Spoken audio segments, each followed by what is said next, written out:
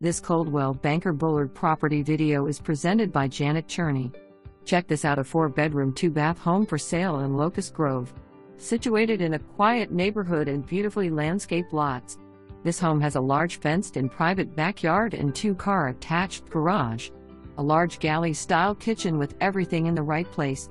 The kitchen is open to the great room that has vaulted ceilings and a fireplace a large owner's suite with tray ceiling, a sitting area, and attached bath with separate garden tub and shower. This one won't last long. For more information, review the details below or contact Janet Cherney at 770 914 9250.